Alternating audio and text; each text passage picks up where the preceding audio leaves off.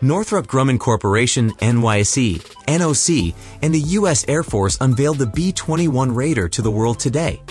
The B-21 joins the nuclear triad as a visible and flexible deterrent designed for the U.S. Air Force to meet its most complex missions.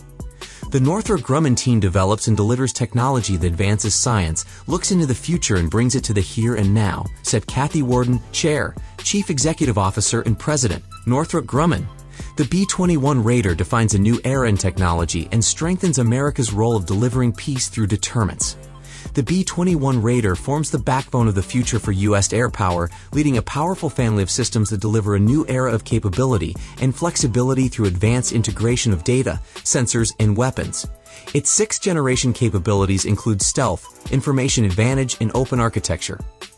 The B-21 Raider is a testament to America's enduring advantages in ingenuity and innovation, and it's proof of the department's long-term commitment to building advanced capabilities that will fortify America's ability to deter aggression today and into the future.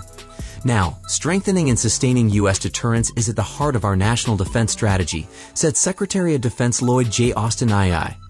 This bomber was built on a foundation of strong bipartisan support in Congress, and because of that support, we'll soon fly this aircraft, test it, and then move into production.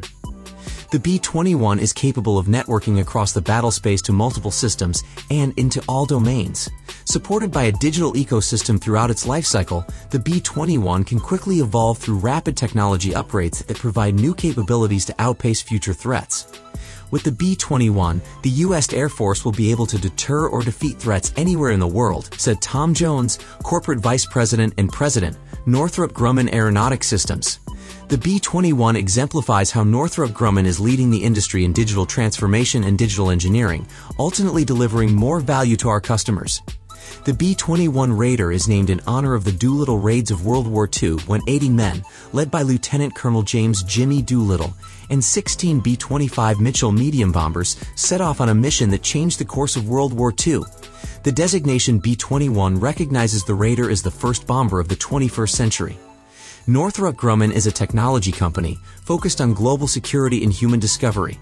Our pioneering solutions equip our customers with capabilities they need to connect, advance, and protect the U.S. and its allies.